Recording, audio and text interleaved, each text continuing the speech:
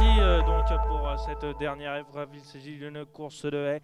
Alors qu'on s'est tout de suite euh, très bien élancé au, aux avant-postes et on va franchir la première en tête avec Cosfor Perus qui a pris un petit avantage avec Smolen Missming qui vient les contester cet avantage juste devant Donny Derco qui précède Languetto Gemina. Cosfor Perus n'est pas loin et tente de progresser actuellement. Les concurrents qui euh, sont euh, dans le tournant et toujours euh, maintenant Donny Darko qui a pris le chemin le plus, court, c'est-à-dire la corde et qui a pris l'avantage devant Smolen Missming avec Languetto Gemina qui est en troisième position juste devant Cosfor Perus qui est quatrième. Smolen Mighty, Commons Time Lord et euh, 3-4 longueurs plus loin, Twisted Darn Fiesta qui ferme la marche du peloton. Une allure régulière dans la ligne opposée avec Donny Darko qui emmène toujours le peloton avec un très léger avantage.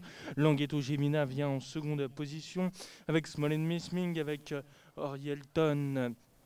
euh, Dickmans qui est là également et qui euh, tente de venir euh, juste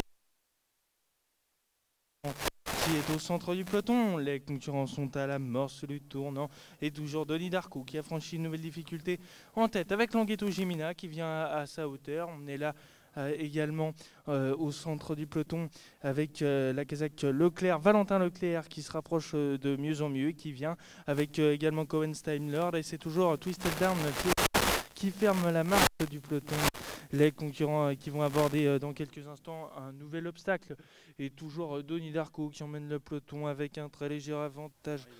Alors qu'ils sont dans le tournoi final, ils vont aborder la phase finale. Donny Darko qui a supporté le poids de la course, qui va tenter de repartir de plus belle.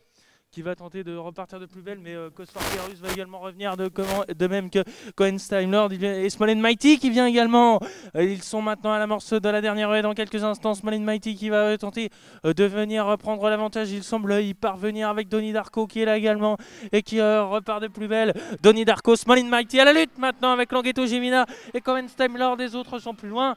Aux abords du poteau, euh, c'est euh, Donny Darko qui va peut-être s'imposer avec Smolen Mighty. Ce sera très serré, Smolen Mighty, Donny Darko. Troisième place pour Languetto Gemina devant Cohen Steinlord.